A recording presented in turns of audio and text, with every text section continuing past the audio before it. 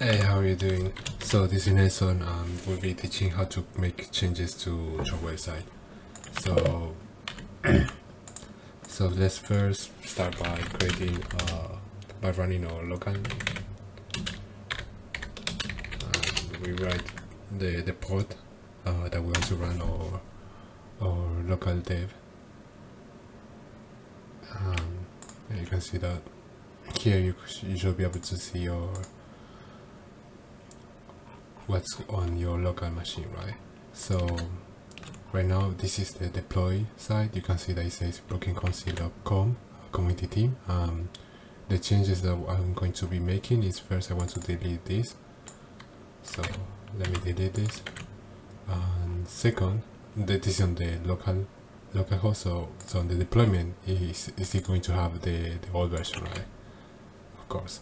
Um, but on the local machine it's going to have the latest changes. And now I also want to remove the hello from here and I want to remove Nelson from from the team right? So first I go to or admin and let's go to teams. And now let's modify Nelson. Um, and I want to write like uh, graduated right? So I'm removing myself from the team um, I also want to if I go to the local I shouldn't be there anymore. You can see that Nelson is no longer here. And now I want to now I want to change uh, the description for Wendy right?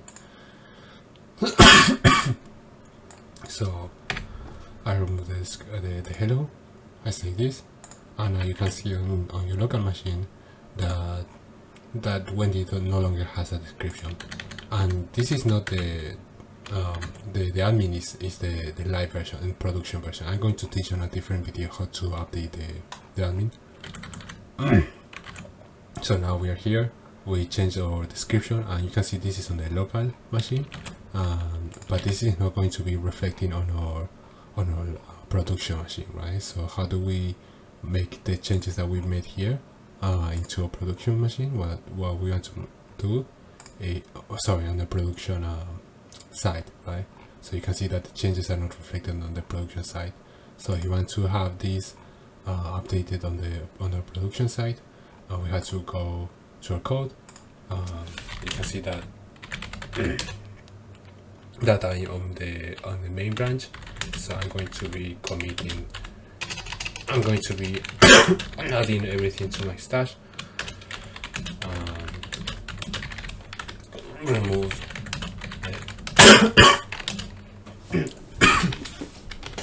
so I add the description to my commit. Uh -huh.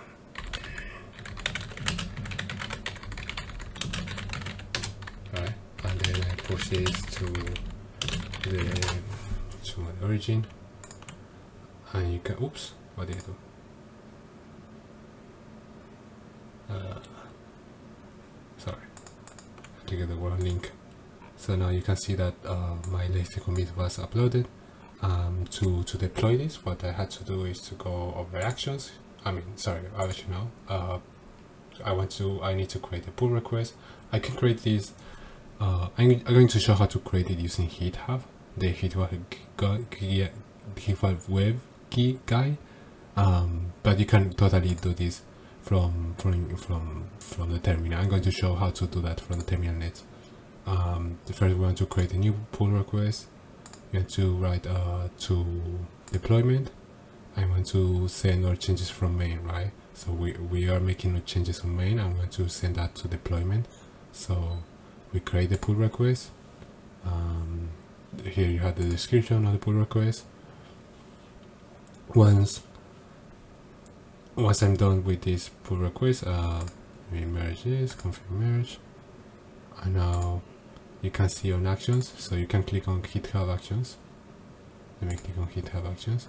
You can see this yellow dot right? So this what this yellow dot means is that it is running the the the build right? So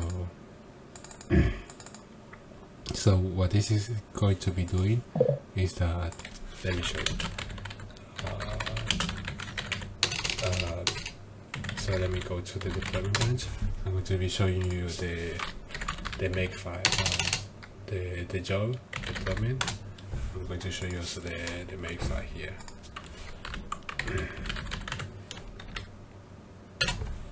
Alright, so first what we are going to be doing is that GitHub automatically is going to be detecting when we when we push a change to the deployment branch. Uh, once it's detected, it's going to first configure the, the GitHub username from the it's, it's going to create a virtual machine using Ubuntu and it's going to be config configuring the GitHub um, global username as nene1 and then we are running the, the first my uh, make command which is going to be build commit on push. Um, what build commit on push does is that first it installs everything using yarn then it creates a, a build for create, creates the build and the build is going to be on the out uh, out file so it's going to be here. It's going to be uh, running export so it's going to all the all the build is going to be on the out folder. And then uh, adds everything to the git and commits everything as production update but it doesn't push everything. So the difference between this and this is that you are not publishing the change you are not pushing the changes to github.